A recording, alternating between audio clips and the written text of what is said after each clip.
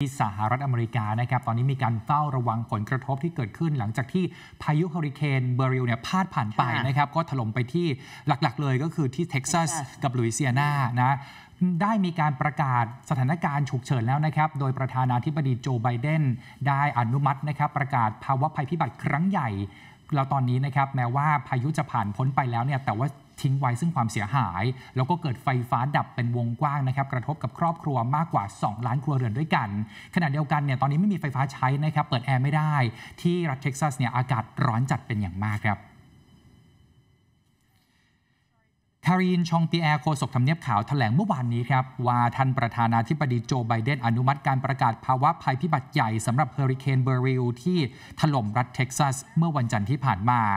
และให้คุณผู้ชมได้ดูภาพล่าสุดนะครับ เป็นภาพที่มาจากเมืองฮิวสตันเมืองใหญ่สุดของรัฐเท็กซัส และเมืองใหญ่อันดับ 4 ของสหรัฐ อย่างที่เห็นนี่เลยนะครับพี่ลิซ่าคุณผู้ชมครับคือรถยนต์เนี่ยเข้าแถวยาวเหยียด ตามปั๊มน้ำมันต่างๆ ที่ยังคงเหลือเปิดให้ใช้บริการที่เมืองฮิวสตันแห่งนี้ หลังจากปั๊มหลายแห่งต้องปิดทำการไป เนื่องจากไฟฟ้าดับ แล้วปั๊มน้ำมันหลายแห่งก็ยังคงได้รับผลกระทบได้รับความเสียหายจากเฮอริเคนเบอริลที่ผ่านพ้นไปด้วย คราวนี้ความเสียหายหนึ่งที่น่ากังวลใจก็คือตัวเลขของผู้เสียชีวิตครับ ยอดผู้เสียชีวิตล่าสุดจากเฮอริเคนเบอริลความแรงระดับหนึ่งที่ถล่มเท็กซัส และลุยเซียนาของสหรัฐเมื่อวันจันทร์เนี่ยเพิ่มขึ้นมาเป็น 10 คนแล้วนะครับ ส่วนใหญ่เนี่ยจะอยู่ที่เท็กซัสครับคือ 9 คนนะผู้เสียชีวิต 9 คนอยู่ในเท็กซัส ที่เหลืออีก 1 คนอยู่ที่ลุยเซียนาด้านสำนักบริการอากาศแห่งชาติสหรัฐ หรือว่า NWS รายงานว่า หางของพายุเบอริลนั้นทำให้เกิดพายุทอร์นาโดหลายลูก ใน 2 รัฐด้วยกันก็คืออินเดียนาและเคนตักกี้เมื่อวานนี้ ก่อนหน้านี้เบอริลได้ทำให้เกิดพายุทอร์นาโดหลายลูกในเท็กซัสลุยเซียนาและอาร์คันซออย่างเมื่อวานนี้ครับชาวเท็กซัสหลายล้านคนต้องเผชิญกับสภาพอากาศที่มันร้อนจัด ทารุณด้วยนะครับใช้คำนี้เลยนะ ก็เป็นอากาศที่มันร้อนอบอ้าวขึ้นมาทันทีเลยนะครับหลังจากที่พายุเบริลผ่านพ้นไป NWS รายงานอุณหภูมิสูงสุดในเท็กซัสแต่ 38 องศาเซลเซียส ร้อนขนาดนี้เปิดแอร์ก็ไม่ได้ครับ ประชาชนต้องทนทุกทรมาน เนื่องจากไม่สามารถเปิดเครื่องปรับอากาศช่วยคลายร้อนได้ เพราะไฟฟ้าดับจากเบอริลถล่มนั่นเองทำให้เกิดไฟฟ้าดับเกือบ 3 ล้านหลังคาเรือนแต่ล่าสุดเนี่ยทางการอัปเดตมาว่าเหลือ 2ล้าน2แสนหลังคาเรือน ซึ่งถือว่าเยอะมากอยู่ดีนะครับ แต่การทำความสะอาด เก็บกวาดซากความเสียหายซากปรักหักพังซากต้นไม้ล้ม และการฟื้นฟูหลังพายุผ่านพ้นไปได้เริ่มต้นขึ้นแล้วนะครับในเมืองฮิวสตันและพื้นที่อื่น ๆ ของรัฐเท็กซัสแห่งนี้ครับ พายุเบอร์ริลได้พัดถล่มพื้นที่ทางตอนใต้ของรัฐเท็กซัสด้วยค่ะด้วยความแรงเฮอริเคนระดับหนึ่งนะคะในวันจันทร์ที่ 7 กรกฎาคมที่ผ่านมา ตอนนี้ลดกำลังลงเป็น depression โซนร้อนค่ะ แล้วก็ทำให้เกิดฝนตกหนัก น้ำท่วมกระแสลมแรง และเคลื่อนตัวมุ่งหน้าสู่แถบมิดมิดเวสต์เมื่อวานนี้ ซึ่งมีแนวโน้มที่จะก่อให้เกิดน้ำท่วมนะคะ พายุทอร์นาโดหลายลูกตลอดเส้นทางที่เคลื่อนตัวผ่าน ก่อนหน้านี้ค่ะเบอร์ริลเคยทวีกำลังสู่เฮอริเคนระดับสูงสุดนะคะก็คือระดับ 5 และอ่อนกำลังลงพัดผ่านจาเมกาเกรเนดาและเซนต์วินเซนต์และเกรนาดีนส์เมื่อสัปดาห์ที่แล้วค่ะทำให้มีผู้เสียชีวิตอย่างน้อย 12 คน ก่อนหน้านี้มีการคาดการณ์นะคะว่าวันที่ 7 ถึง 8 กรกฎาคม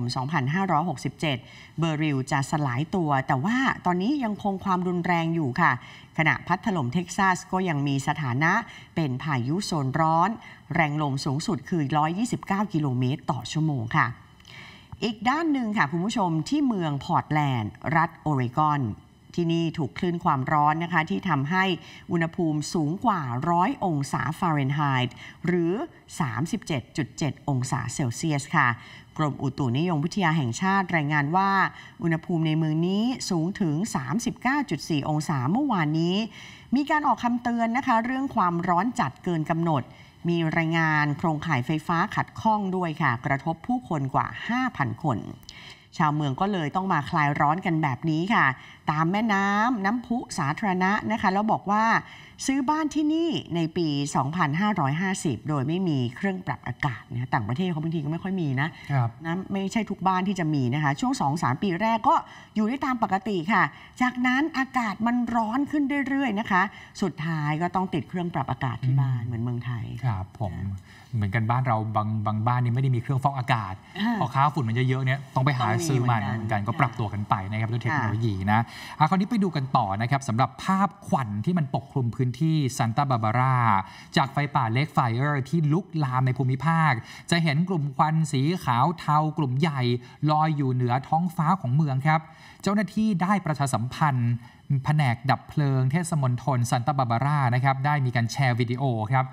ก็คือจะเห็นภาพของควันไฟนะครับ ซึ่งจุดต้นเพลิงเนี่ยมาจากไฟไหม้ในรัฐแคลิฟอร์เนีย ซึ่งตอนนี้เผาผลาญพื้นที่ป่าไปแล้วเนี่ยเกือบ 65,700 ไร่ ซึ่งไฟป่านั้นเริ่มต้นขึ้นเมื่อวันที่ 5 กรกฎาคมที่ผ่านมานี้เองครับ ส่งผลให้ต้องอบพยพประชาชนบางส่วนในเขตซันตาบาบาร่าเจ้าหน้าที่ระบุว่าคฤหาสน์ เนเ e อร์แลนด์ซึ่งเป็นบ้านเก่าของไมเคิลแจ็กสันราชาเพลงป๊อปผู้ล่วงลับปลอดภัยดี จากเหตุเพลิงไหม้ครั้งนี้ แต่ตอนนี้ก็ยังไม่ทราบสาเหตุนะครับ ก็อยู่ระหว่างการสอบสวนว่าเออไฟป่าครั้งนี้มันเกิดขึ้นได้อย่างไรครับค่ะ